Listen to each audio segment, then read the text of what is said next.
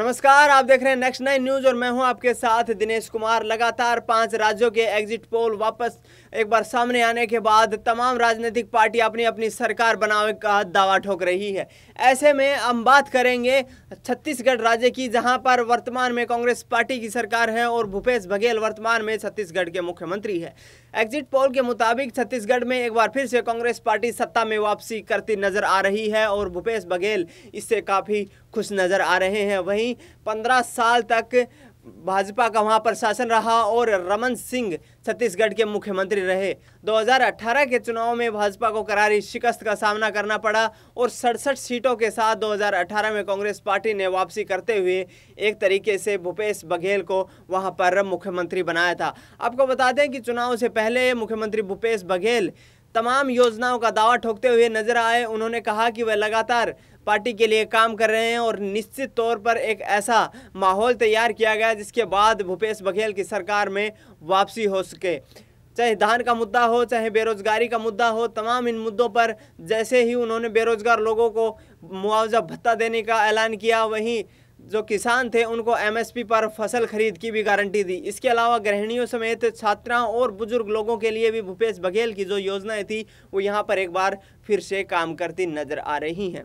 तो चलिए भूपेश बघेल को टक्कर दे रहे हैं राजनांद गाँव से बीजेपी प्रत्याशी और सीएम कैंडिडेट की रेस में सबसे आगे छत्तीसगढ़ के पूर्व मुख्यमंत्री रमन सिंह। आज हम बताएँगे आपको कि रमन सिंह और उनकी पत्नी कितनी संपत्ति के मालिक हैं और क्या क्या उनके पास जो चुनावी हल्फनामे में पेश किया गया है तो कितनी संपत्ति, चल अचल संपत्ति का क्या ब्यौरा है। आपको बता दें, रमन सिंह की पत्नी के पास करीब 235 तोले सोना बताया जा रहा है और इसकी कीमत लगभग 90 लाख रुपए है। वहीं उनके पास 18 किलो चांदी है, जिसकी कीमत छः लाख सत्तर हज़ार रुपये बताई जा रही है। वहीं साढ़े सात कैरेट हीरे के जवाहरात हैं, जिनकी कीमत लगभग 11 लाख पच्चीस हज़ार रुपये उन्हें उन्होंने अपनी जो चुनावी हल्फनामा था उसमें बताई है।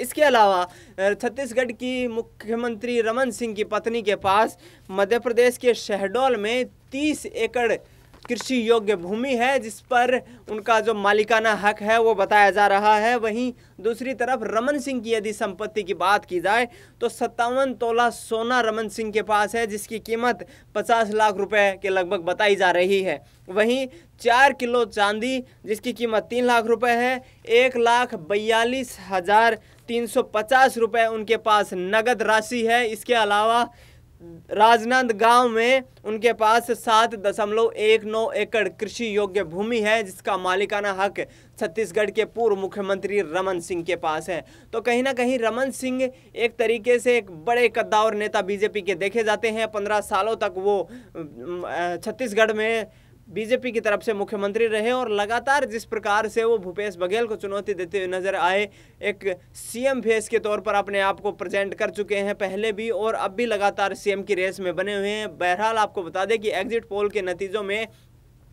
करीब पचास फ़ीसदी का अंतर है भाजपा और कांग्रेस में। भाजपा एक बार फिर से बड़ी, बड़े मार्जिन से बिछड़ती नज़र आ रही है, जबकि कांग्रेस पार्टी सत्ता में वापसी करती नज़र आ रही है। तो बहरहाल इस खबर में फ़िलहाल के लिए इतना ही। देश दुनिया की तमाम बड़ी खबरों के लिए आप देखते रहिए नेक्स्ट नाइन न्यूज़।